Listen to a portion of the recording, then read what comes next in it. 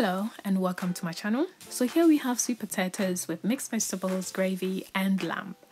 Um, I really do like sweet potatoes and as always I must have my meals with some sort of vegetables to ensure that um, it is a balanced diet.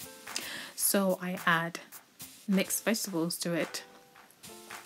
Um, so for seasoning you would need some black pepper.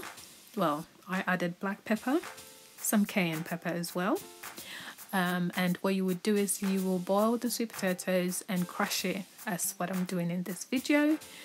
Um, crush it mash it however you would like to do it.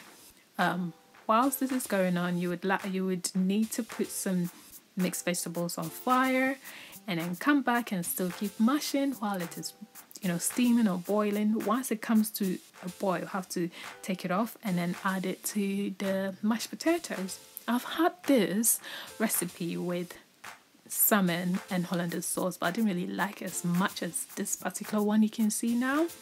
But I'm still developing this and I will let you know if I do come up with any other combinations that I really enjoy.